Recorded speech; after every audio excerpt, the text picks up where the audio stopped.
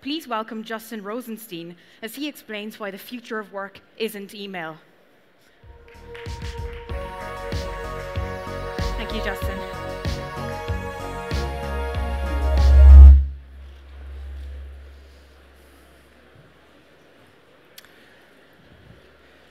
There are people at this conference working on huge ambitions. I've met people who are aiming to feed 2 billion more people over the next couple decades, to scale clean energy, to bring healthcare to every corner of the globe, or to find an untapped market niche and attack it with passion and excellence. Many of you in this room are working on ambitions at huge scale. You know, people didn't always talk like this. These kinds of ambitions can make sailing some ships across the ocean or building a cathedral seem small in comparison. Yet we are crazy enough to think that we can do this. And you know what? We can. Because as of very recently, we now have the ability to coordinate collective action and scale up what humans can do in a completely unprecedented way. To be able to really exponentially increase the power of human intelligence. But what if we told any of these visionaries that they had to accomplish their goals working just 15 to 20 hours a week? And with the rest of their time, they couldn't work out or dream or rejuvenate. Nope. They had to sit at their desk and play Minesweeper. Now, you'd laugh at this, right? But that is effectively what we're doing. Because the average knowledge worker literally spends 30% of their time on email alone. 30%. And another 20% is spent hunting down information that someone else in their organization already has. Actually, just a second ago, I mentioned email. Did that prompt you to want to check yours? But hold off, because what I'm going to tell you is going to be the first step in claiming back your time for your mission. So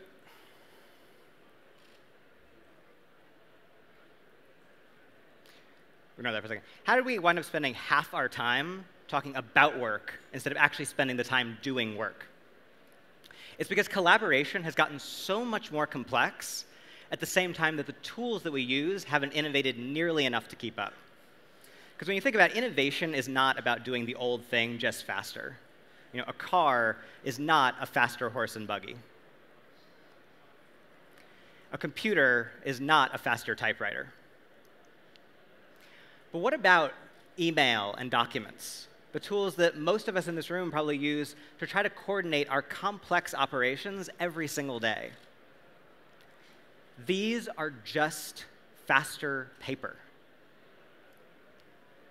And paper is great for writing a letter or delivering a press release, and email and documents allow us to do these things even better but they're just not complex tools. They're just not sophisticated tools for enabling us to coordinate large numbers of people. And that's why we're going crazy. We're trying to coordinate these massive thousand person endeavors with an electronic version of the post office. Now, some of the tools we use aren't based on paper. You have CRMs or bug tracking, which are tools that have revolutionized their respective industries. But the vast majority of coordination at work is still done using email and documents. In fact, we generate literally 100 billion work emails every single day. That is insanity. Faster paper is an insane way to coordinate. The way that we're working isn't working. We need a better way.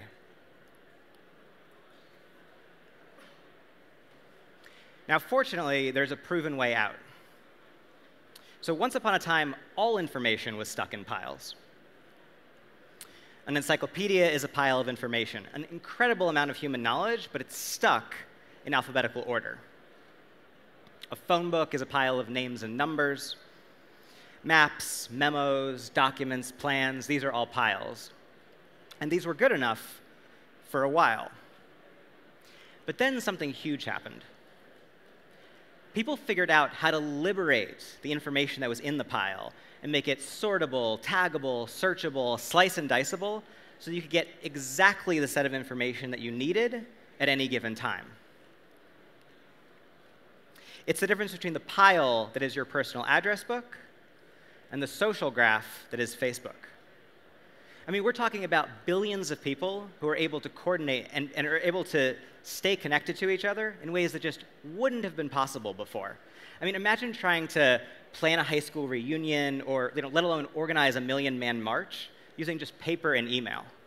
But it wasn't that long ago that that's all that we had available to us. We're talking about the difference between a card catalog and the information graph that is the World Wide Web. The difference between a Rolodex and the professional graph that is your LinkedIn network. These shifts have changed our world. I mean, social graphs have completely redefined the way that we interact with our communities. Information graphs have allowed us to harness information in ways that just weren't possible before. And yet, the one place that we still tolerate these piles of virtual paper is in the workplace, with the endless email and documents that still come across our desk every single day.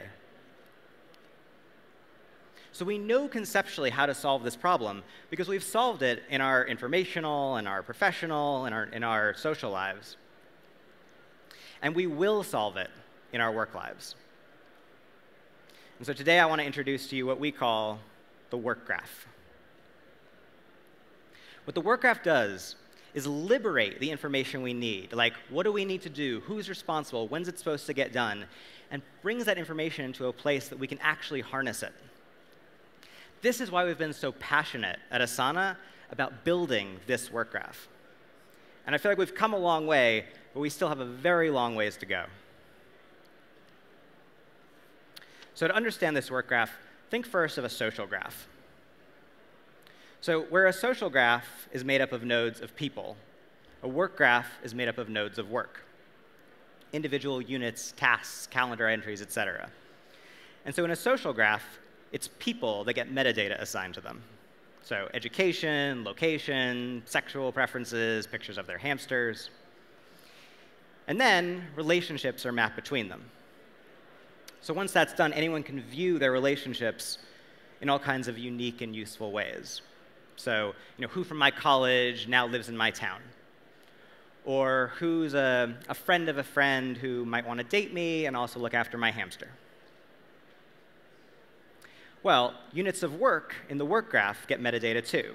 But in this case, it's attached files, comments on the work, who's responsible, all, all the sort of information around it. And then relationships between the units of work get mapped as well, starting from the task and then all the different pieces and how they fit together, because we actually put the work itself at the center of this graph.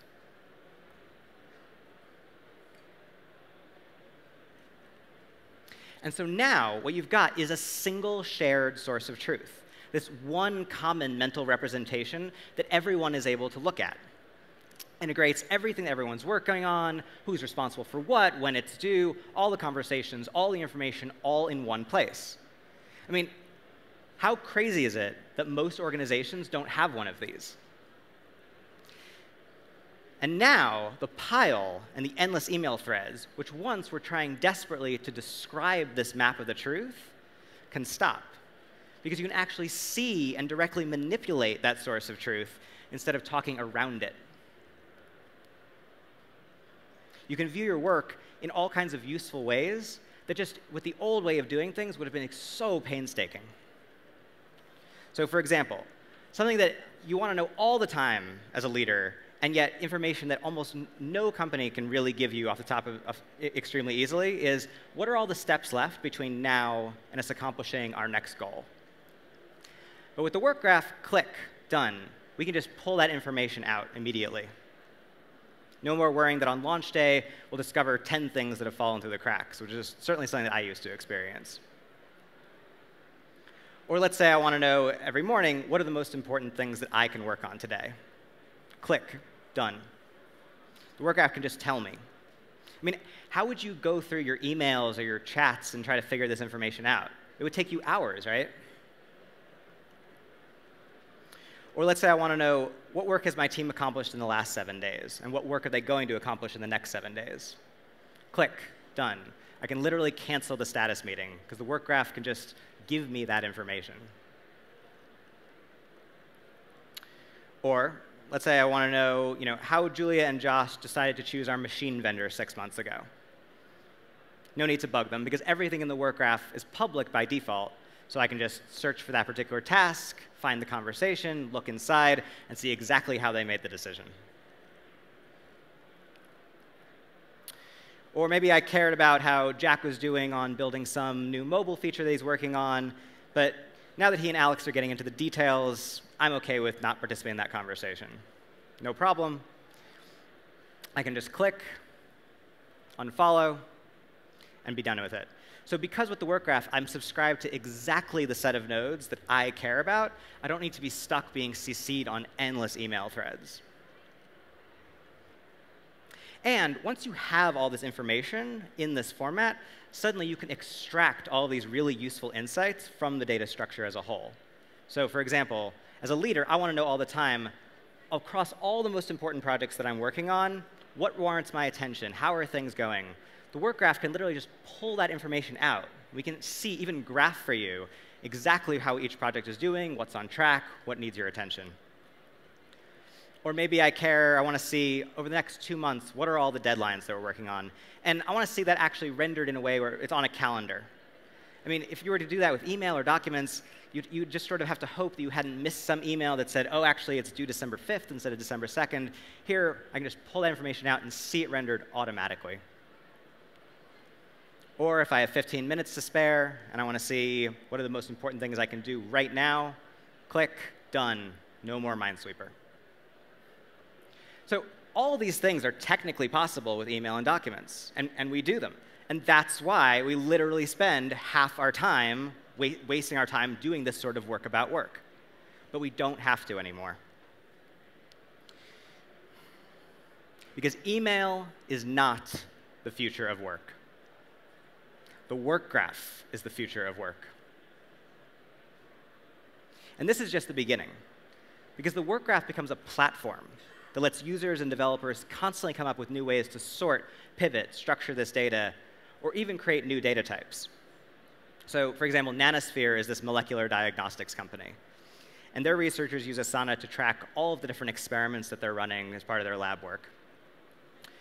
And currently, they do that in Asana using use, sort of structuring those experiments as tasks, but we're building functionality that will allow them to make them first-class nodes so they can have experiment-specific metadata right there in the work graph along with all their other things. And as we expand this platform to developers, we'll see whole pieces of software built as node types in this work graph. So in the future, let's say you have a startup that wants to help venture capitalists manage their deal flow. All they have to do is build a custom schema with custom views and custom code, and suddenly they'll have all this rich functionality, and it integrates deeply into all of the other sort of objects that that venture capital firm is managing. So Facebook has a billion people nodes, and Asana today already has 250 million work nodes, and that number is growing exponentially.